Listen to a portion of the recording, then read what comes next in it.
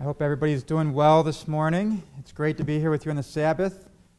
Um, I want to start the, the message by asking a question Is there anything that bothers you as you live in the world, as you go about doing your day, daily activities? You ever get offended by anything? Maybe offended is too strong of a word. Maybe more like something happens and it's like, ah, that doesn't make me feel very good. What are some examples of things that, uh, you know, think of some examples in your mind, personally. The kids and I talked about an example that uh, I'm sure if any of you are on Facebook or anything, you'll probably connect with this. But, uh, you know, there's this thing with Facebook where everybody puts uh, all these pictures all the time, and these families, they're like perfect, right? Because they're always out there showing all these pictures and they're doing all these fun activities and uh, you know they're they're out with some of our friends, and hey, I didn't know that they were going to that restaurant. They usually invite us. They didn't invite us this time. Has that ever happened to any of you? Can you kind of connect with something like that? You start to feel like, huh, what's up with that? How come we weren't invited? Or you might think, wow, boy, they're doing all these activities. Did you see that? They're having so much fun. Maybe we should start doing more stuff. That ever happened to you? Something like that? What's behind that feeling? I mean, should we get upset about stuff like that? Just looking at Facebook? Let me give you another example. I'm going to hit this topic from a little bit of a different angle because I, you might, uh, it might take a little bit uh, to understand where I'm going with this. So, Here's another example. Get into an argument with uh, maybe a spouse. And um, maybe you, you do something, you say something, and you don't think that they're hearing you. And you raise your voice a little bit. You know, that's not what I said. If anyone's ever been married, I'm sure that phrase has come up at some point in your relationship. And probably the tone of voice got a little bit elevated. Then the next question might be well, why are you yelling at me? Well, you made me yell at you. You made me do that. You got me upset. You got me upset. Has that ever happened to you? Has any of us ever said something like that along those terms? That we ended up getting upset. And in the heat of the moment, we're like, why did you do that? Why are you yelling at me? Well, because you're making me this way.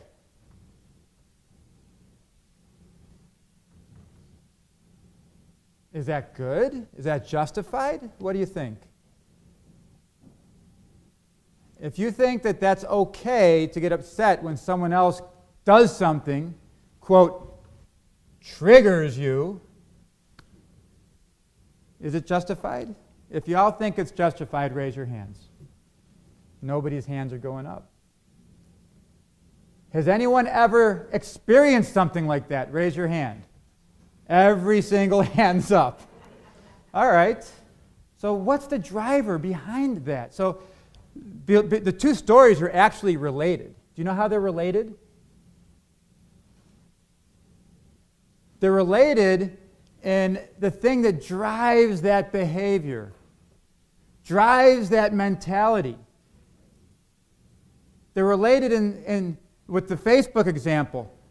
You have to come to a conclusion in your mind about that scenario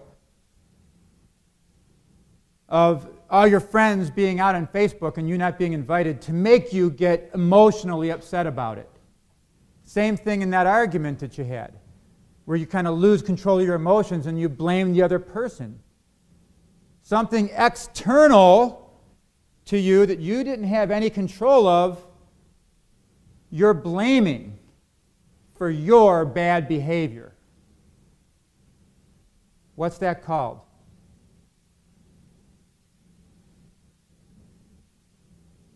What I want to talk about today, brethren, the title of this sermon is called The Victim Trap. The victim trap. there's actually quite a bit about this concept of victimhood. Now, think about it.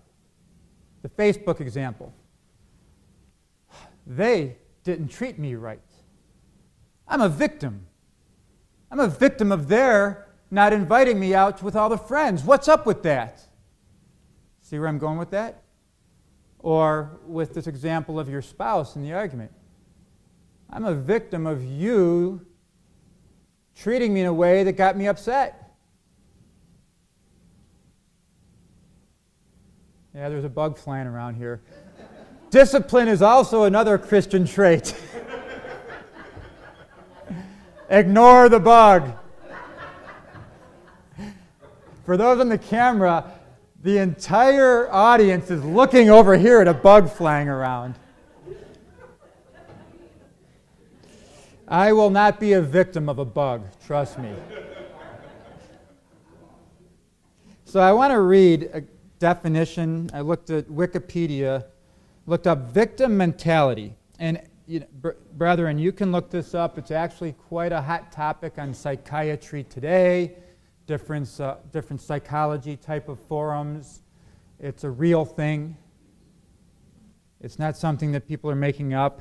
So, victim mentality, Wikipedia, is an acquired personality trait.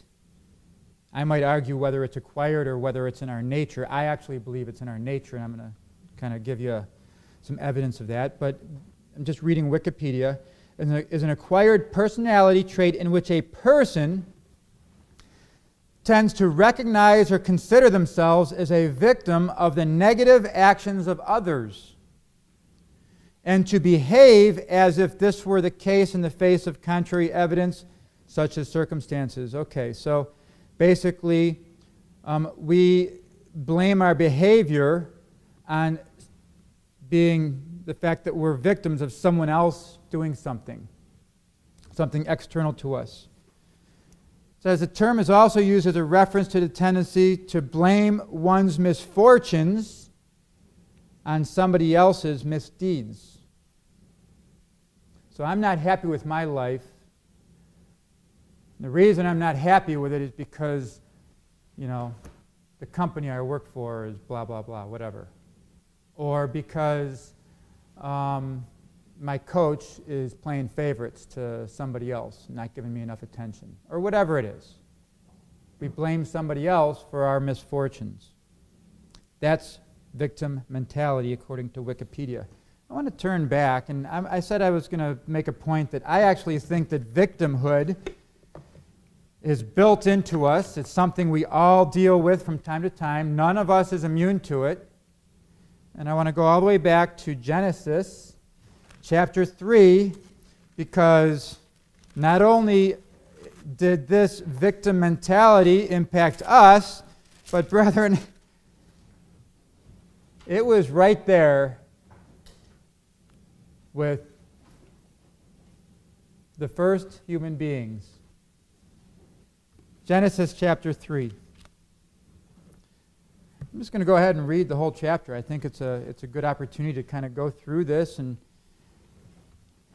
key in on this. Now, the serpent was more subtle than any beast of the field. So, yes, it's acknowledging that the serpent was subtle, or the, this being was subtle had power um, than anything else in the field which the Lord God had made. And he said unto the woman, Yea, has God said, You shall not eat of every tree of the garden? Tempting. Just a provocative question. And the woman said unto the serpent, Oh, we may eat of the fruit of the trees of the garden, but of the fruit of the tree which is in the midst of the garden, that one which God has said, You shall not eat of eat of it, neither shall you touch it, lest you die. And the serpent said unto the woman, You shall not surely die. Hmm. Probably the first time Eve even considered that. You mean God might be lying to me? Hmm. For God does not, for God does know that in the day you eat thereof, then your eyes shall be opened, and you shall be as gods, knowing good for evil. The woman saw that the tree was good for food, so she started to kind of buy into what this serpent, Satan, we know, is, is telling her. She's starting to buy into it. Oh, yeah, it looks, looks pretty good to eat. I'd, I'd like to try that. I'd like to try it. It was pleasant to the eyes and a tree to be desired to make one wise. Oh, if it can make me like God, and you know, I wonder why God doesn't want me to have it. She took of the fruit thereof and eat did eat and gave it unto her husband with her and he did eat. Now, there wasn't a lot of detail about that whole interaction between Eve and her husband, but uh, any one of us that have been in a relationship probably know it was more complicated than that. There was probably some discussion and convincing going on. Nonetheless, they ended up eating. And the eyes of them both were open, and they knew that they were naked. In other words, I take this as they realized that they had made a mistake. They knew that what they just did. I mean, how many of that? How many of us have went through that? We're doing something, kind of in the back of our mind. We know that it might not be right, but we kind of push it in the back of our mind because we really want to do it. And then afterwards, we had that time of reflection and go, I can't believe I did that. I should know better than that. I'm a Christian. I shouldn't have let myself do that. I mean, we've all had those moments, right? That's how I interpret this when it says their eyes were opened. They realized they did something wrong. They were naked. They sewed fig leaves together and made themselves aprons. And they heard, now they were ashamed. They were ashamed. And then they heard the voice of the Lord God walking in the garden. Uh oh! Mom and dad are home. Hide the candy.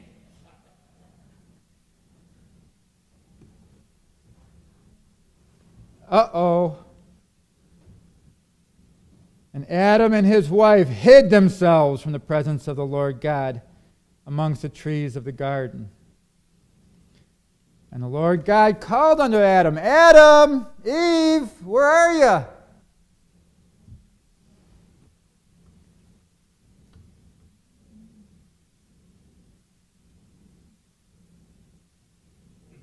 And Adam, he said, and he said, I heard your voice in the garden, and I was afraid because I was naked and I hid myself.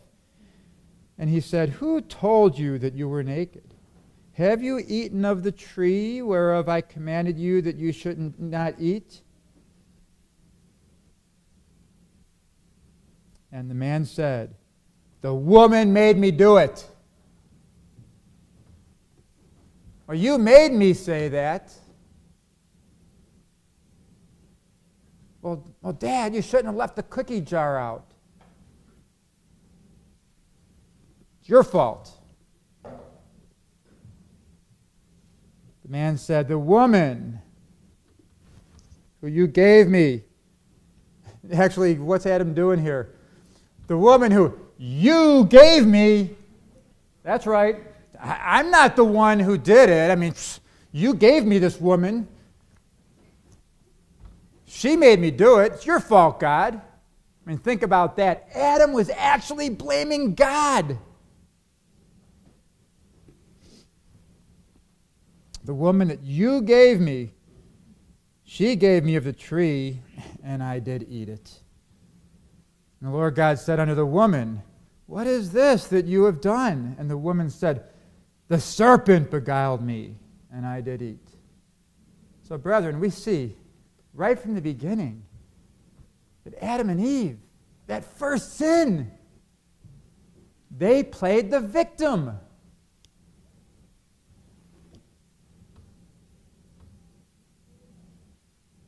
Now, there's a whole bunch of bad that comes from playing the victim, and I'm going to get into that in a little bit. But I just want to make the point here, brethren, that I think it's part of our nature. Now, we say when we go into the waters of baptism, we're to do what? Leave the old man behind. What does that mean, the old man? The nature, the human nature. Leave that stuff behind. And we're going to come up fresh and new and clean. And Passover is a new man, new woman well, we're to take on God's nature. Now, I don't think God's nature is to play the victim, but man's nature is. That's the point I wanted to make here with these verses. That it's something that we have to acknowledge, brethren, that it's, it's part of our nature.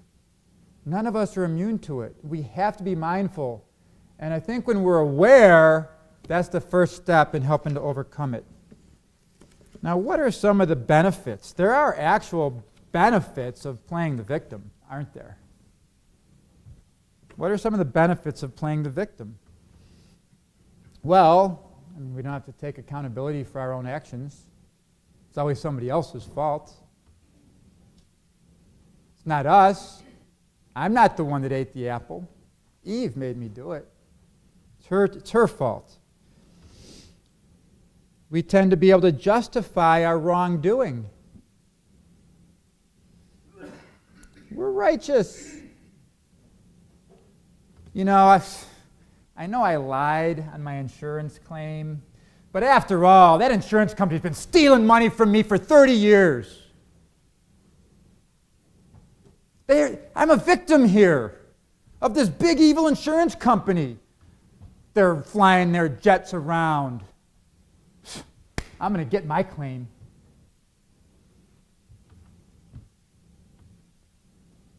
That's a benefit, isn't it? I got my money.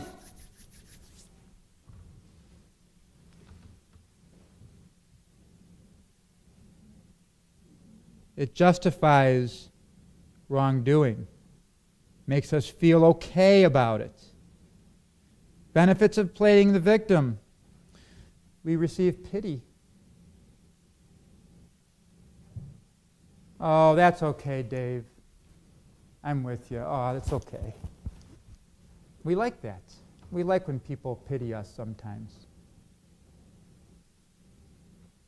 People are less likely to criticize us when we're playing the victim. You know, the people that always have the black cloud over them, no matter what, seems like they're always, something is always befalling them.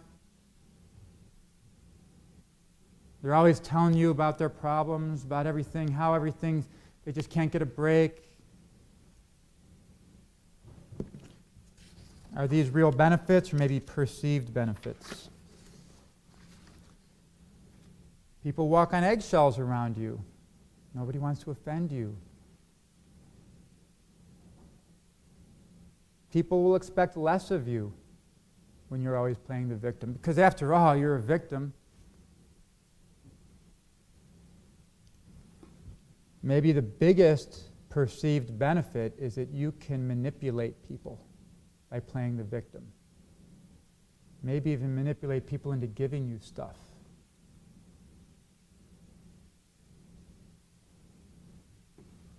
So, what's the problem with this, brethren? Why is victim mentality not good? And I'll start going into some scriptures here in a little bit, but the number one, I put five reasons here why victim mentality, and you can get a bunch of stuff from literature, but I try to summarize them into these five. Probably the most important, and this one alone could be the only reason why we should say we are going to try to overcome this victim mentality ourselves as Christians. Number one, victim mentality leads to unhappiness. Just like I've said before, I'll give credit to Dennis Prager. Whether you like him or not, agree or not, I have to give him credit for this saying. I love it. Happy people make the world better, unhappy people make the world worse. Victim mentality, when you see yourself as a victim, it's very hard to be happy. You see the world as being unjust. We live in an unjust world, and that's all we're focused on. And we're the victims of the unjust world. It's very difficult to be happy. When we're unhappy, guess what? The people around us are unhappy. When the people around us are unhappy, the people around them are unhappy. Unhappy people make the world worse. Happy people make people around them happy, and vice versa. Happy people make the world better. If that was the only reason we should avoid being victims, brethren, that's good enough for me. Jesus says that our, he's, he wants us to have joy, that our joy should be full as Christians, that we're to be lights unto the world, not downers, The victim mentality can stifle productivity in our lives. I think of productivity as this manufacturing thing at work. You know, we want to be more productive, but we want our lives to be productive. We want to produce what? Fruit. We want to have productive lives. Uh, victim mentality prevents us from developing the traits that we need to to be successful because we don't take accountability for our, for our situation. I shared an example with Michael and Allie on the way here. They said, Dad, don't use that in the sermon. Sorry, it's a good example. This example of um, the Facebook with friends. Well, how could you take that? So, going back to that Facebook example, you see your friends on Facebook all at a, a party and you weren't invited. So, what could you do? Well, Michael said, Well, if that happens, maybe, maybe instead of being upset, thinking that, uh, you know, why, did, why didn't they invite me? Maybe I'll look internally. Well, maybe I can be a better friend. Actually, I still think that's being a little bit of a victim. Maybe a better way is to say, hey, I'm glad they had a good time. Sometimes I like to have hang out with just a couple of my friends and not all my friends. Maybe they just wanted to hang out with those friends that day. And it has nothing to do with my relationship with them.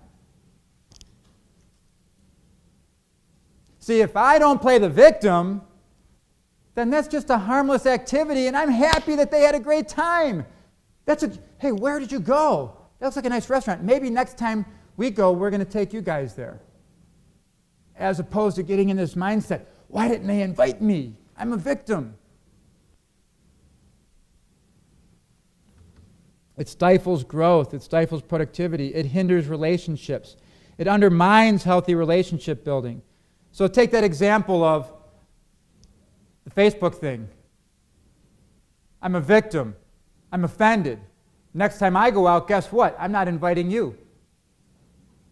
Well, then now they're offended. Next time they go out, they're not inviting me. And then now I'm even more offended. I guess, I, rela- I guess that's not the friend I thought we had. I, I, I guess that's not the relationship I thought we had. Now we're not friends anymore. You see how that could be this vicious cycle that leads to broken relationships?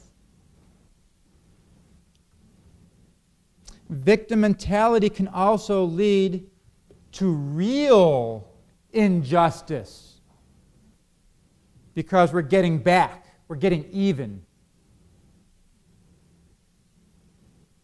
The example of the insurance company.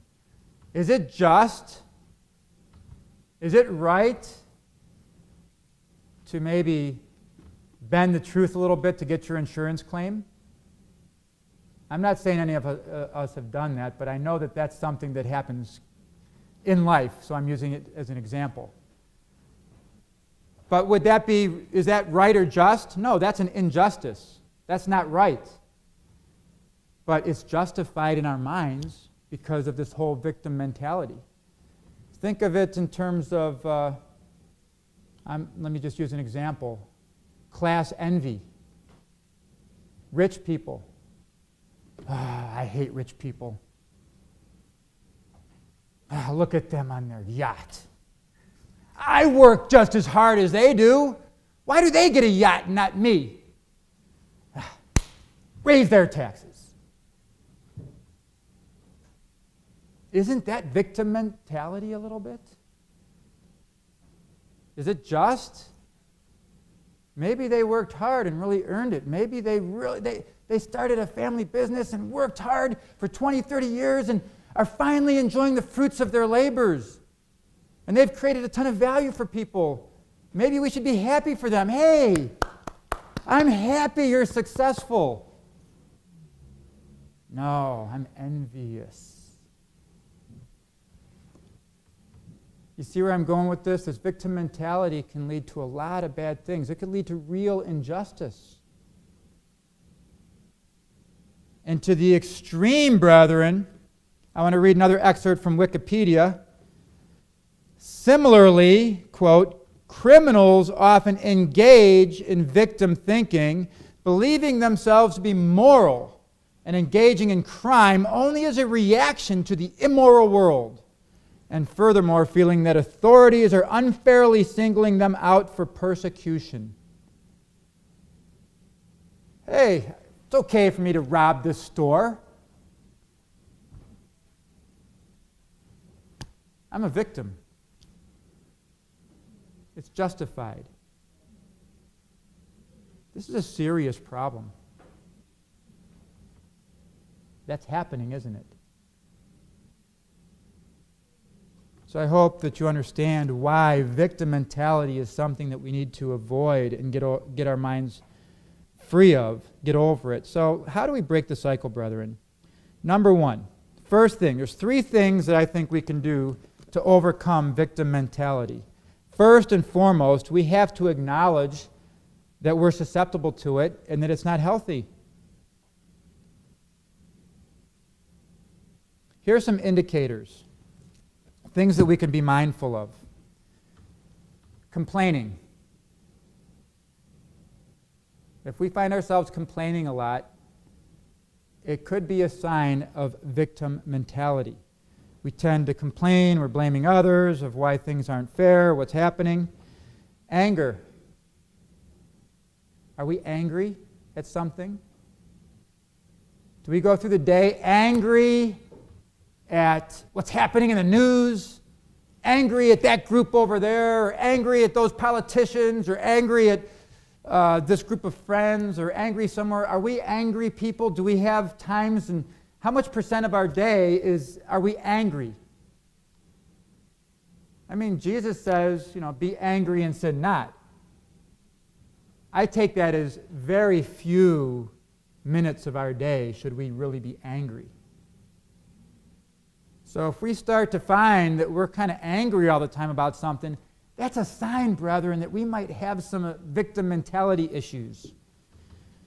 Demonization judging people or groups, making judgments about them, demonizing them. Are there, is there anybody in your life that you really dislike?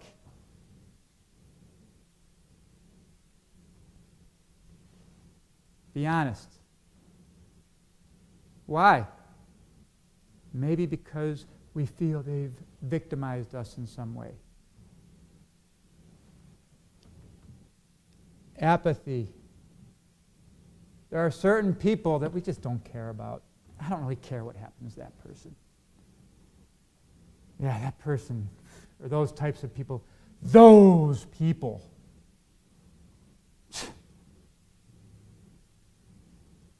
You know, I, I, I like those people, but I, I could care less about them. A sign, brethren, that you might look. Maybe the driver is that you feel like you're a victim of something that they're doing. Narcissism and self pity. Oh, woe is me. Oh, I have so many problems. Being defensive. Why are you always attacking me? None of us are defensive. How about justifying behavior? If we find ourselves justifying things, maybe it's because of victim mentality. Turn with me to, uh, let me see.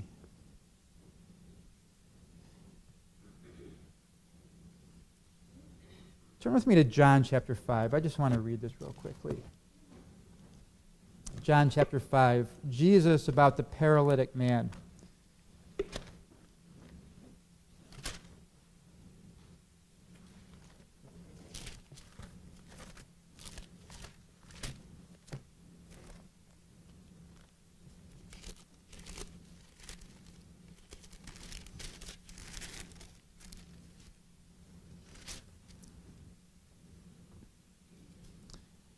And I didn't write the exact scripture in, so I've got to find it real quickly here.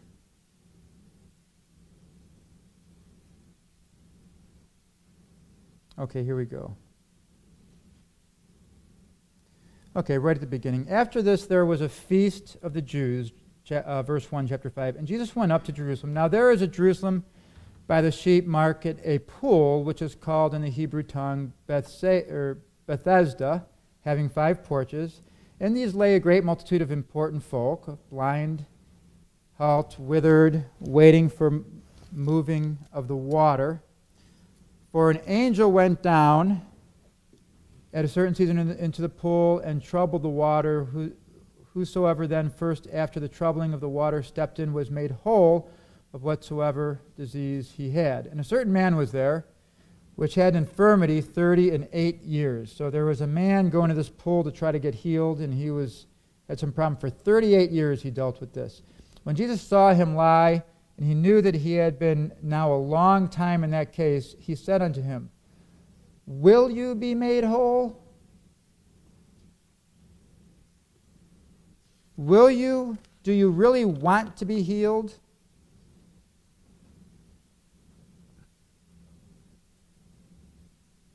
Why would Jesus ask that question? Of course. He's been going there for 38 years. Why do you think Jesus asked him that question? Do you really want to be healed? Well, maybe he's been going there playing the victim. Maybe Jesus wanted to figure out what was in this guy's heart. If he really did want to be healed, or if he actually maybe enjoyed some of the attention he got by going down to that pool every day for 38 years.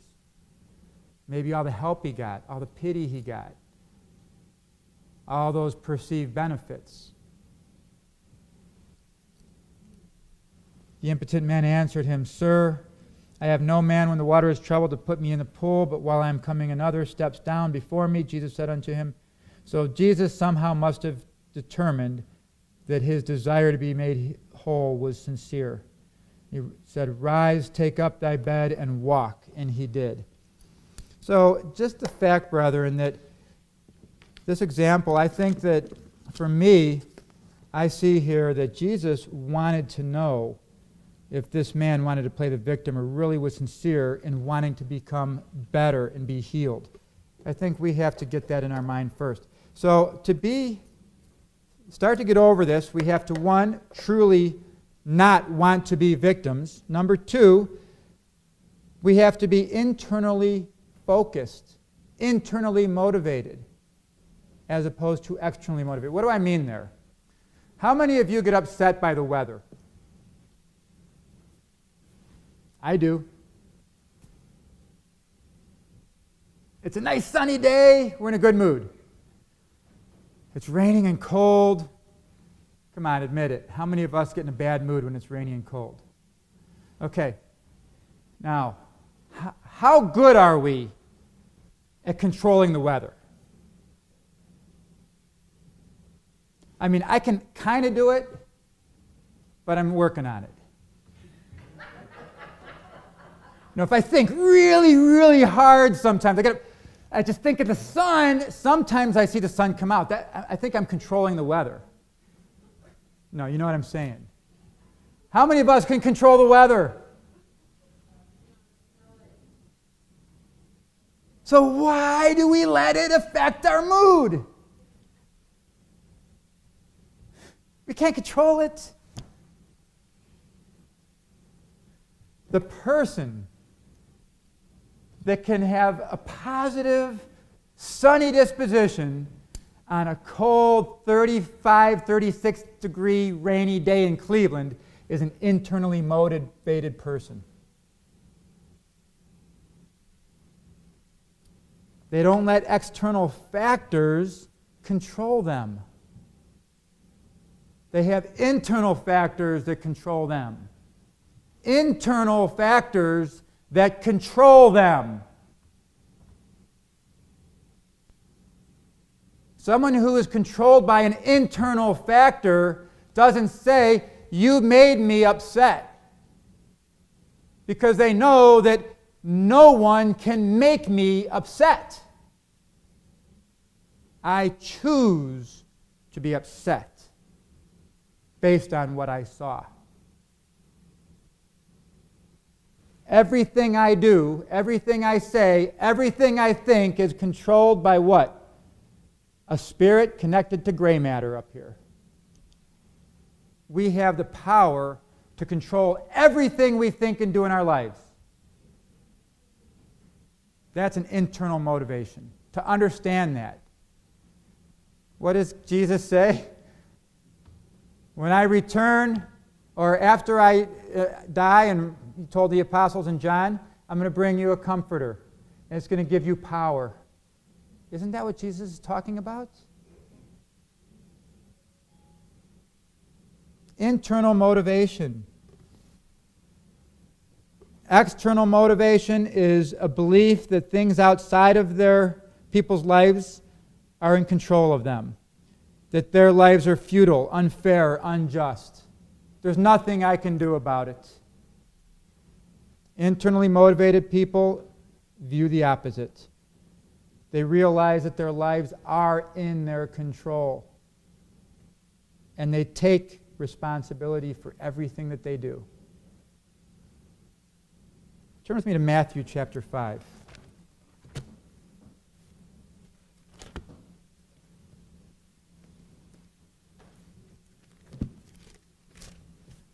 Matthew chapter 5, verse 21. Because, brethren, as I look at Jesus Christ, as I understand God's character, God's values, I don't see someone who was externally motivated. Jesus Christ was the most internally motivated person in the history of mankind. He lived his life to bring about over 75 prophecies. Talk about someone in control. Matthew chapter 5, verse 21. Jesus tells us, You have heard that it was said by them of old time, You shall not kill.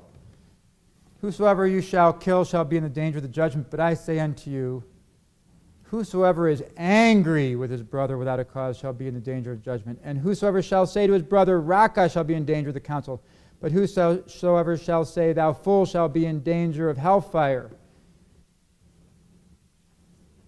And he goes on to say, brethren, that we are to be perfect. We are to be perfect. Jesus wouldn't, would Jesus tell us to control our thoughts if he knew that we didn't have control over our thoughts? Think about it. The very fact that Jesus is telling us to control our thoughts means that we have control over them. We can do it.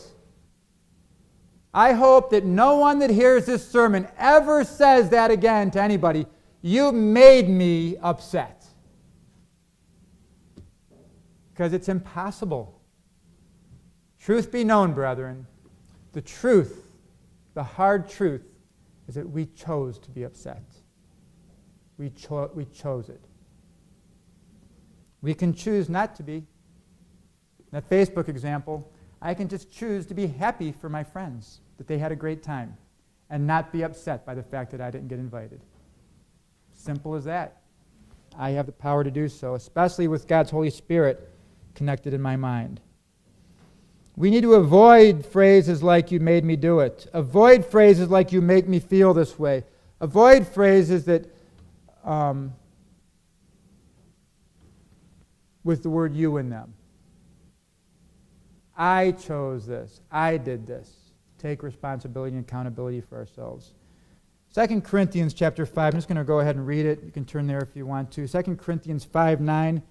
Wherefore we labor that whether present or absent we may be accepted of him, for we must all appear before the judgment seat of Christ, that every one may receive the things done in his body according to that he hath done. According that he hath done, whether it be good or bad. Deuteronomy 24 16. The fathers shall not be put to death for the children, neither shall the children be put to death for the fathers. Every man shall be put to death for his own sin. Right there in Scripture, brethren, we read that God is holding us personally accountable for our behavior.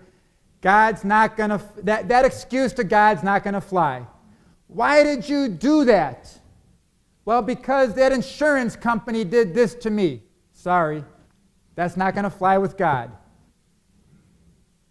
When we're standing before Jesus, He's going to have us take account for ourselves. I'm going to read in Ezekiel chapter 18, brethren. I think it'd be good to read the entire chapter of Ezekiel chapter 18, where God goes into some detail about personal responsibility and accountability. I'll just read a couple excerpts here. Ch- Ezekiel chapter 18.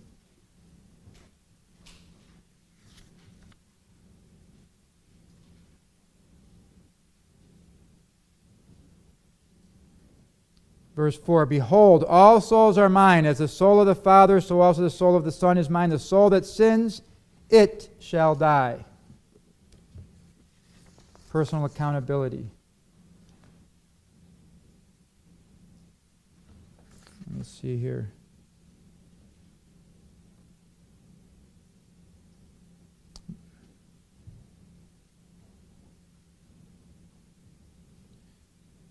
Ezekiel chapter 18, verse 19. Yet you say, Why does not the Son bear the iniquity of the Father?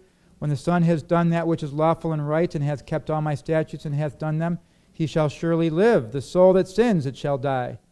The Son, that, the son shall not bear the iniquity of the Father. In other words, if the Father didn't do a good job raising the Son, God's saying that's not an excuse for the Son. The son has to be accountable for his own decisions. Why did you turn out to be a criminal? Well, my dad didn't teach me. That's not going to fly with God either. Neither shall the father bear the iniquity of the son. Goes the other way around. If you did a great job being a dad and the son ends up growing up and makes a bad choice, we tend to blame the parents. Must be the upbringing. God's not going to do that. He's going to blame the person that made the mistake. We read right here. The Father will not bear the iniquity of the Son. The righteousness of the righteous shall be upon him, and the wickedness of the wicked shall be upon him. And I would encourage you to read the entire chapter of Ezekiel, chapter 18. It talks about, brethren, that we absolutely, absolutely, according to God, must, as Christians and God's people, avoid being victims and take personal accountability for our lives. Power, we have the power of choice, brethren. Mind over matter. I want to get, share a couple of additional examples of the power of our mind over not being a victim. How many of us live in pain? I'm pretty proud and inspired by a number of my brethren here in the church. Because I know that there are some of you who live in a severe amount of pain. And yet, when I see you, I see happy, smile, cheery disposition. You know what that's, you know what that's an indication to me of? Mind over matter. Not letting an external factor I think pain is an external factor, control your mood and your mind. Another of those indicators. Another thing we can do to avoid this trap of victimhood, brethren, is don't compare yourself to other people. Think about that. I'll give an example of a professional athlete athlete that makes a million dollars, millions of dollars playing the game that they love. Obviously, they're happy, right? Obviously, they're happy. I don't know, think of any professional athlete signing, make 20, 30 million dollars to play football or baseball. What about an actor? We all, when we're kids, we want to be famous. We want to be an actor because obviously they're happy. But what does that athlete do when all of a sudden his buddy redoes his contract and is making 10 more million dollars than him? Now, when that athlete compares himself to his, say, he goes back to his class reunion and he compares himself to all his, you know, average person in his graduating class, he should be pretty happy, shouldn't he? But what do we do as human beings? We don't do that. We tend to compare ourselves to the the next highest thing that we think. Do you know how many actors commit suicide? How many famous people are unhappy? How many athletes are unhappy? Because they compare themselves to others. Here's the typical self talk I work just as hard as that guy. In some ways, I even make better plays. I'm more valuable than him. Why is he getting paid more than me? Those owners don't appreciate me. My agent stinks. I'm a victim of these unjust owners and a bad agent. As opposed to self talk of, hey, I just am so happy and blessed to be playing football, playing a game I love, and they're actually paying, it, paying me for it. Victim mentality, brethren. Don't compare yourself to others.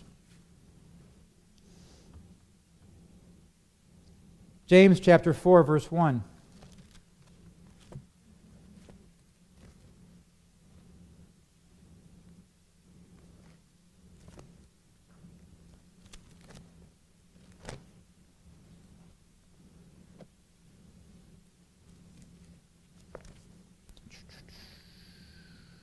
James chapter 4, verse 1.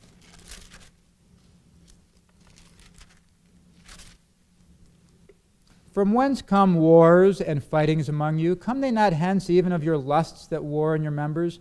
You lust and have not. So you don't have what the other guy has.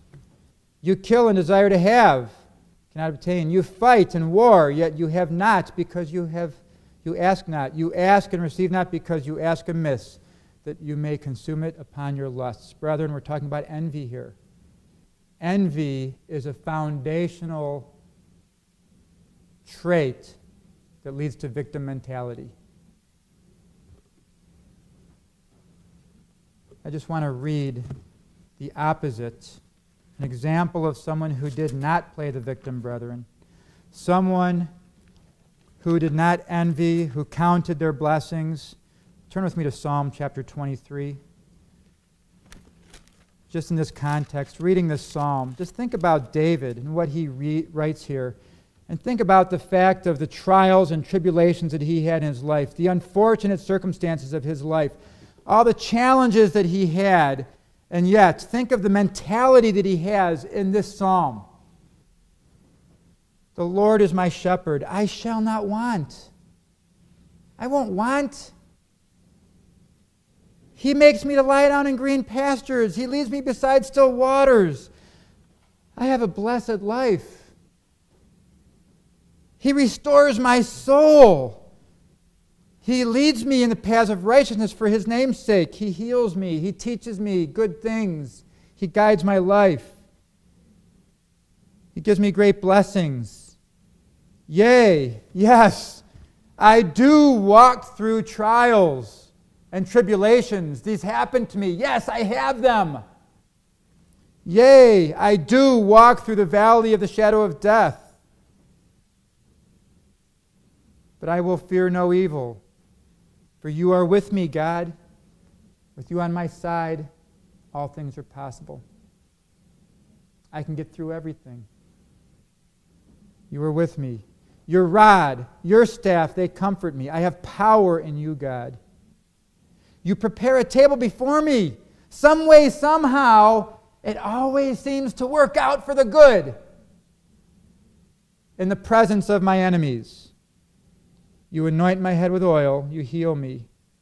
My cup runs over. Here's a man, brethren, whose eyes are focused on the bounteous blessings in his life in the face of trials and tribulations.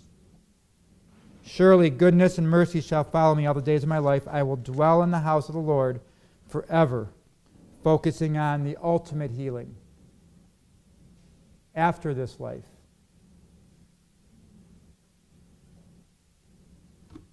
Do you see any hint of victim mentality or victimhood in what David's writing here? Not even a hint. The third thing, brethren, that we can do to avoid this victim trap I kind of keyed in on it before a little bit, but I just want to call it out. We have to avoid looking at people as groups. We all do it. I admit, brethren, I tend to have looked at the opposing political party of my views as a group. What do I want to do instead? Look at everybody as an individual person. Think about that. Think about someone in a group that you really don't agree with. And have you ever painted everybody in that group with a broad brush? I don't care if it's political, if it's racial, if it's whatever it is.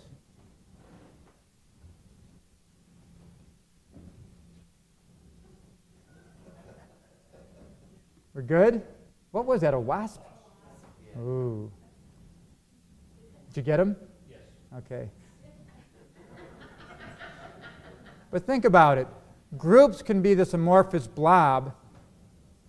People become real to us because we're not a group, we're a, we're a person. We're a person. If you really want to connect it, you know, this whole false teaching of the Trinity this amorphous blob versus God as a person. The Father is a person, Jesus is a person.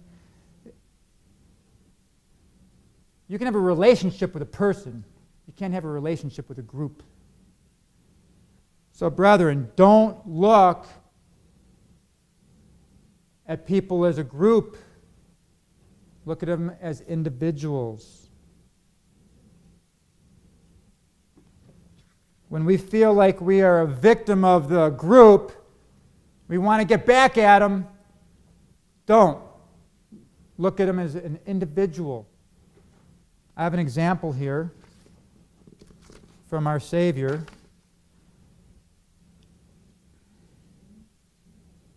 Turn with me to Luke chapter 23. Now, brethren, put yourself in Jesus' shoes. He's trying to help people. He helped and healed, I don't know how many hundreds, if not thousands, of people. He tried to bring the truth.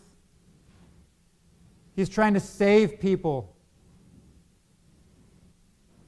And the people that he came to save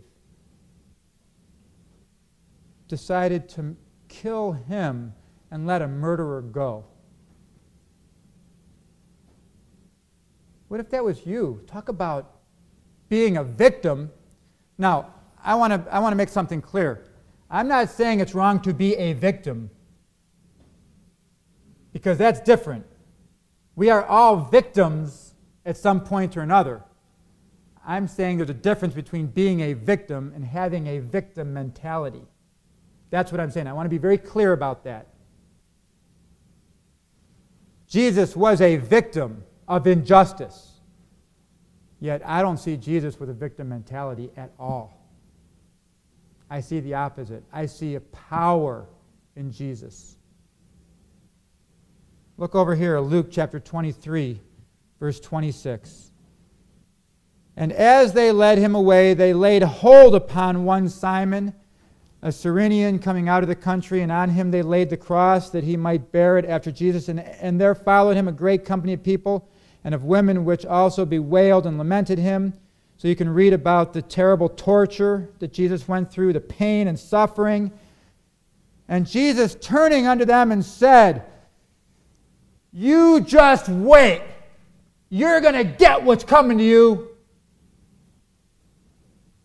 I demand justice. No, that's not what he said. Not at all what Jesus said. Daughters of Jerusalem, weep not for me. These are the people that are killing him. Daughters of Jerusalem, weep not for me, but weep for yourselves, for your children. For behold, the days are coming in which they shall say, Blessed are the brethren, and the wombs that never bear, the paps which never gave suck. Then shall begin to say, The mountains fall on us, and the hills cover us. For if they do these things in the green tree, what shall they shall be done in the dry? Jesus is warning them. His mind is trying to save them still. Don't weep for me. There's no woe is me here with Jesus. He's saying, Don't weep for me. If they do this to me, take, take note. He's warning them.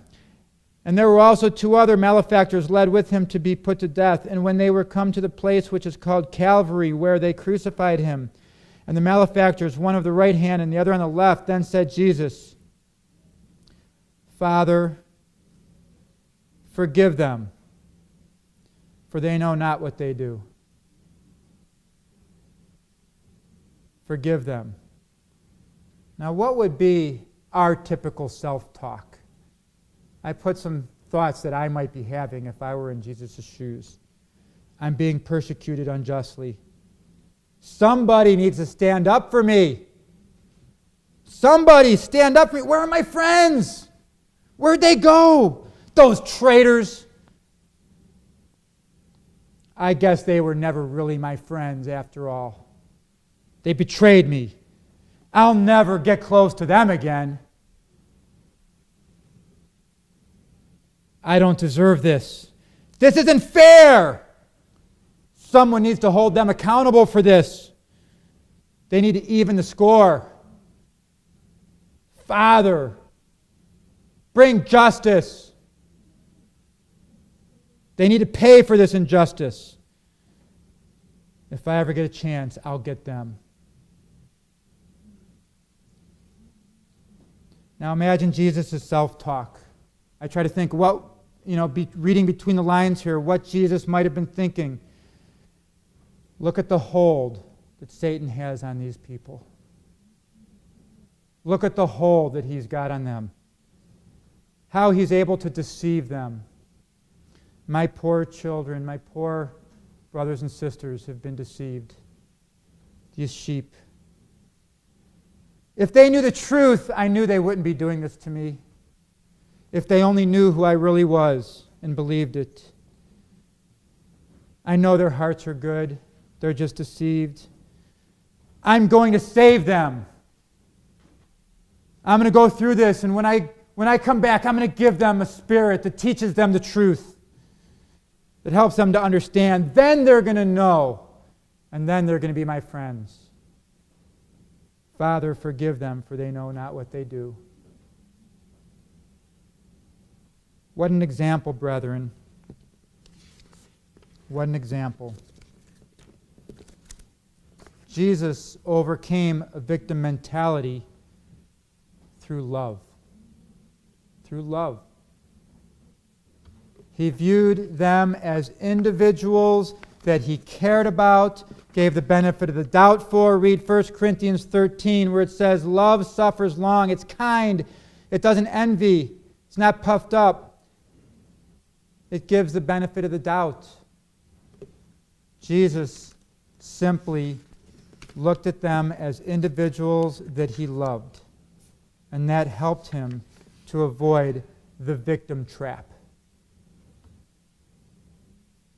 If we truly love others, brethren, if we truly love them, we won't envy them. We won't be offended.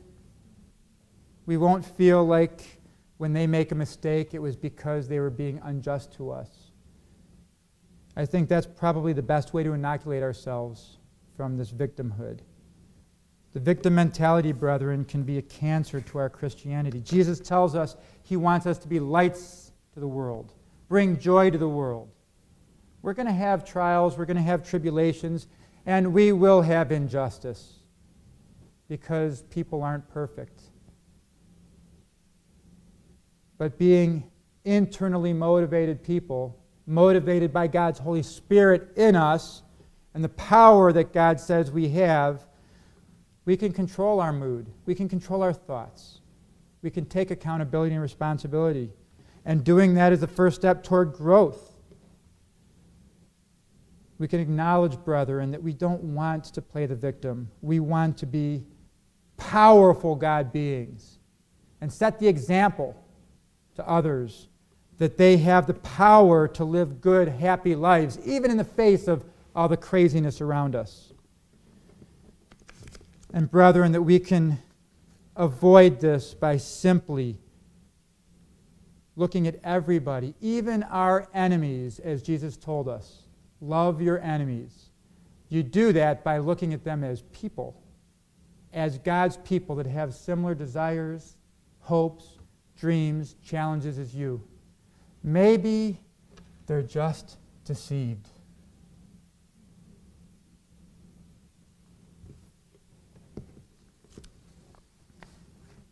And maybe someday they're going to be our best friend. Even, yes, that one guy that we just hate. That's God's child. That's a human being created in the image of God. And Jesus died for that person. And he tells us that we are to love him. So, brethren, avoid this victim trap. Be mindful of it. Take accountability for our lives and realize the awesome power that we have to live our best, full, wonderful, happy lives. And, brethren, if we do that, we will truly become those lights to the rest of the world that Jesus wants us to be.